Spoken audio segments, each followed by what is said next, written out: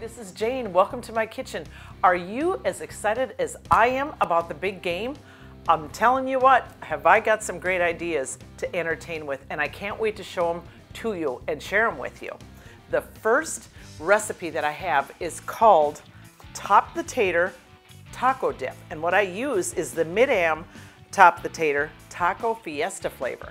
Now, not only is this like the best uh, dip for chips, you can also use it in several different recipes, and this is one of them that I'm gonna show you. Now what I did is I got a platter, and I put refried beans on it.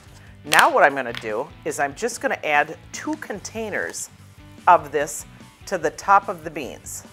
We're just gonna add the toppings, and I'm going to sprinkle cheese, and as much as I love cheese, I'm gonna put a lot on.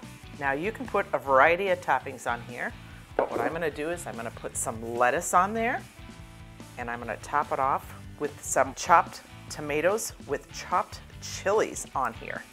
And you can actually get this in um, different heat levels. This one's a mild, but you can also get hot depending on your taste.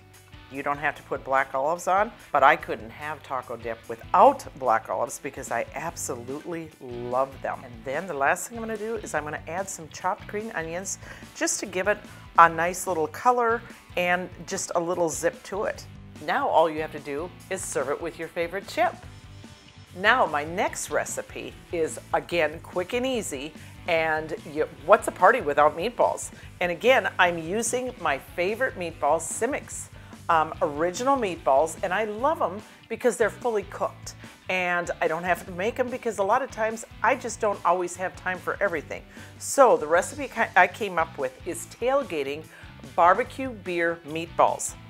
And this one has got brown sugar in it. We're gonna add that. And we're gonna add a little bit of Worcestershire sauce.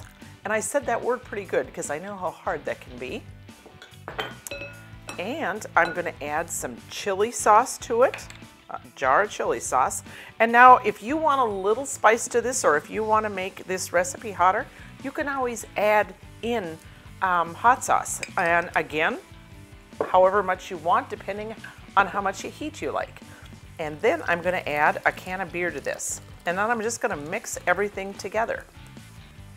Okay, now I have pretty much everything mixed together.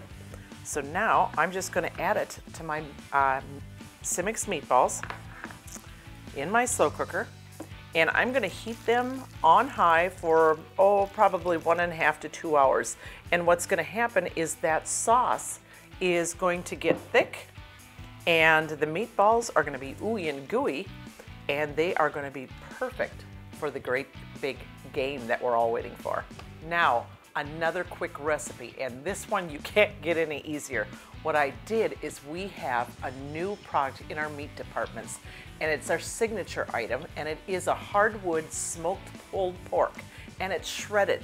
And all I did was put it in a crock pot. I've talked about this in other videos I've done.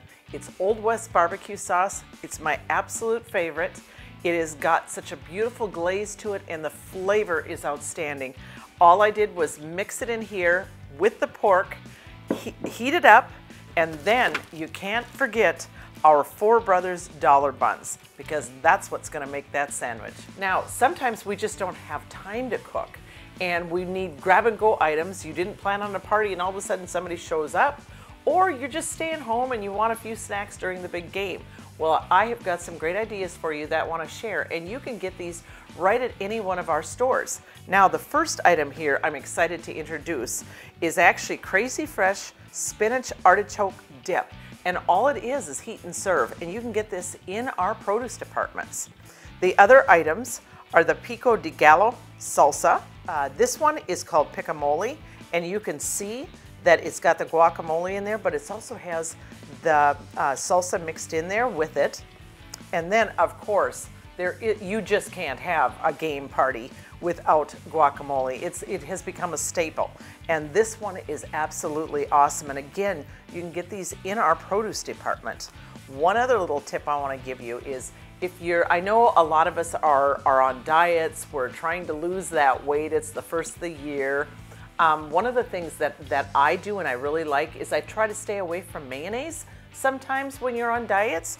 And what I do is I'll use this as a spread in one of my sandwiches. So just want to spread that tip on for you. The other thing is I want to show you our new line of salsas. And this one is actually called uh, Culinary Tours. This one is Campfire Roasted. Here is your Jalapeno Verde, your Texas Two Corn, and this one's actually my favorite, and of course, peach salsa. And again, when it comes to guacamole and it comes to salsa, those are staples for a game. I hope you enjoyed some of these recipes. I hope you check them out. And what I really hope is that your favorite team wins on that big game day. See you in two weeks.